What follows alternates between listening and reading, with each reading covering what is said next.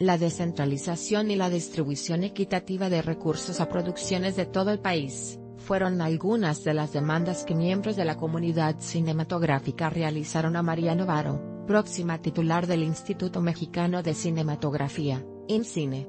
La mesa de diálogo giró en torno a la discusión sobre los fondos públicos de apoyo a la producción audiovisual, FOPROCINE, Fidecine y Eficine. En ella, la próxima directora de INCINE acotó la necesidad de cuidar el funcionamiento, y la convocatoria de los consejeros que evalúan los proyectos.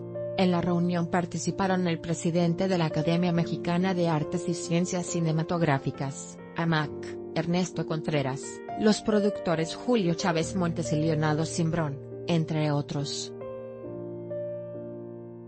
María Navarro dijo que se encontraron puntos de acuerdo tanto de la AMAC como de las instituciones que firmaron el acuerdo. La descentralización es clave, importante pensar en los comités, es un reclamo fundamental de cómo operan estos organismos y lo podemos mejorar.